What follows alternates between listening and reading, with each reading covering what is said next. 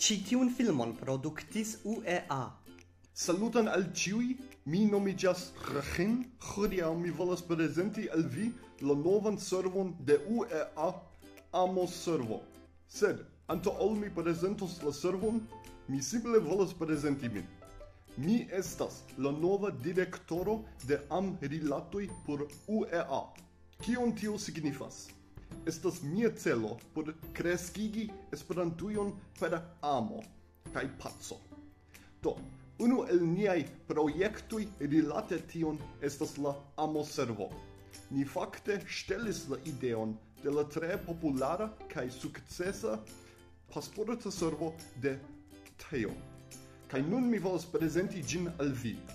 Dum longe, UEA kaj Esperantujo generale havis grandajn problemojn rilate al malkreskado de Esperantujo. Kiel vi povas vidi de ĉi tiu bildo, la membraro de UEA delonge malkreskis. Kaj multaj homoj diras ke tio okazis pro la fakto ke homoj ne plu volas aliĝi al asocioj. Sed mi, kaj kompreneble la aliaj estraranoj, tute malkonsentas. Kaj nun Ni creis novan servon por crescigi ne nur la membradon de UEA, sed Esperantujon mem, sed gi bezonas la helpon de ciui esperantistui kiui vere kredas per la fina venco. Kaj nun mi prezentos al vi la amservon. Do, la ideo de la amservo estas tre simpla.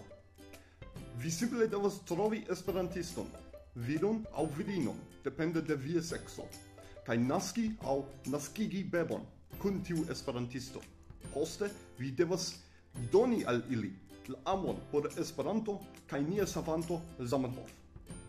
Post tio, post kelkaj jaroj de trejnado por tiu juna esperantisto, vi devas reiri al la unua ŝtupo kaj ripeti.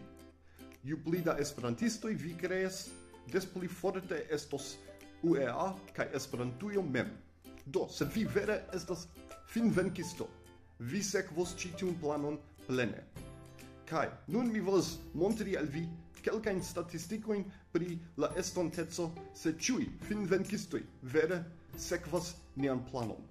Ni ĉiuj scias, che nuntempe estas circa 2 milionoi da esperantistui circa la mondo. Kai Duolingo multe helpis crescigi tiun numeron. Sed per la amo servo ni calculas che circa 2000 estos pli o dec milionoi da esperantistoi circa la mondo, sed nur se ni ciui sequos la planon. Do gis nun tio shainas tre bona, krom la facto che kiel vi povas trovi esperantistoin.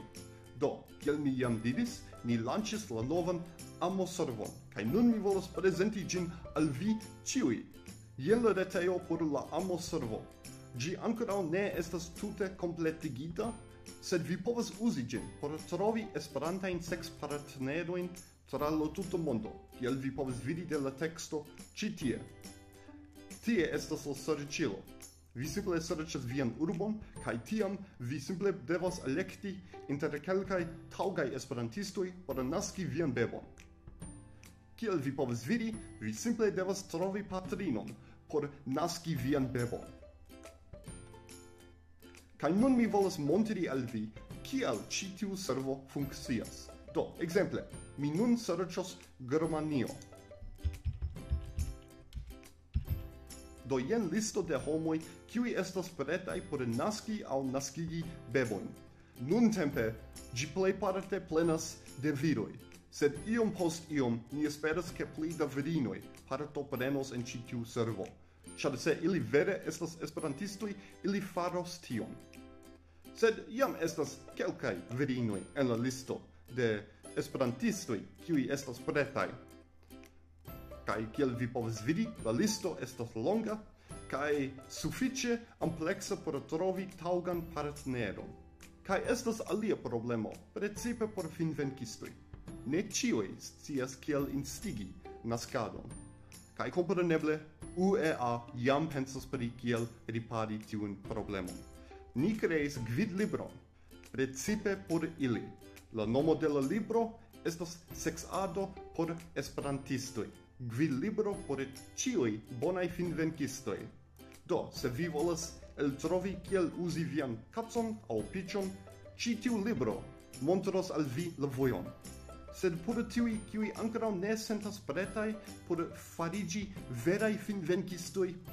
Ni jam fondis kelkajn grupojn en la plej grandaj urboj kaj landoj por helpi vin. Do, ekzemple, se vi uzas la servon kaj vi ne sentas preta por kontakti apartan esperantiston kaj vi bezonas helpon, ni jam havas fakulojn en ciai urboi por helpi vin ili povas svati inter vi kaj via elektito. Kaj tiu estas Johano. Li estas la reprezentanto en Usono. Kaj se vi havas problemojn, li certe povas trovi taŭgan partneron por vi.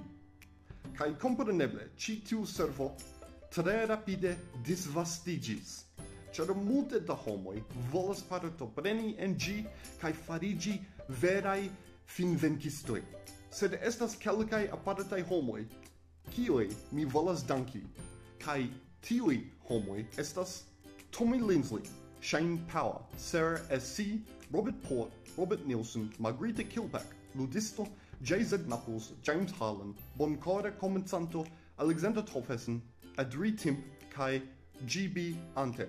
Sed citiu servo bezonas monon por plu kreski. Do, se vi volas donaci al ni iomete por crescigi la servon, vi povas per la ligilo al Patreon en la prescribo de citiu filmeto. Longe vivu Esperanto!